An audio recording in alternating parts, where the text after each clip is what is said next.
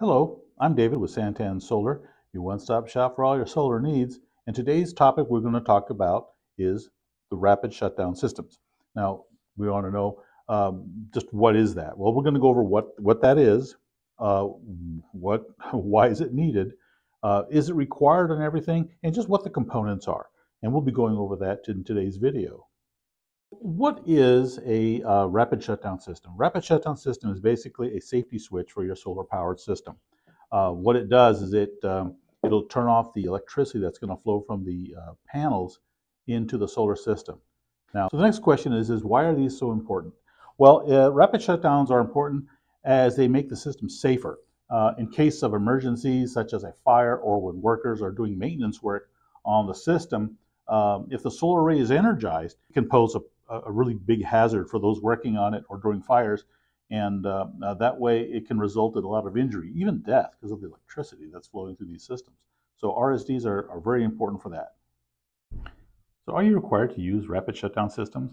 Well, according to the NEC, the National Electric Code, uh, any PV systems that are um, installed on buildings have to have a rapid shutdown.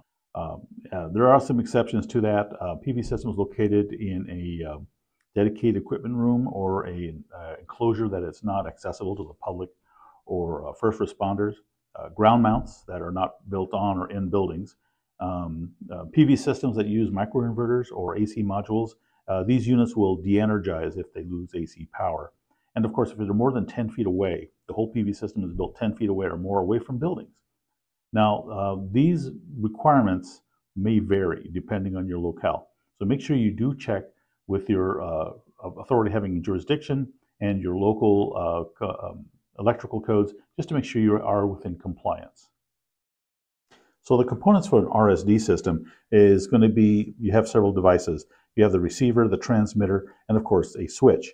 The uh, receiver, which is going to be a device like this, uh, when it is activated, it will turn off the flow of electricity from the panel. So this is modular level. You will have your transmitters, uh, this will detect any flows that need to go through to here, which will help this thing right here um, get start to initiate the shutdown sequence, and it'll do through a bunch of triggers uh, and switches and whatnot. And of course, the switch itself. You also have a switch, and they could be an e-stop, which is the uh, modules with the big button on the front, or you can have a dial switch that'll initiate the, the sequence to start shutting down your system. Rapid shutdown devices play a crucial role in ensuring the safety and reliability of solar photovoltaic systems.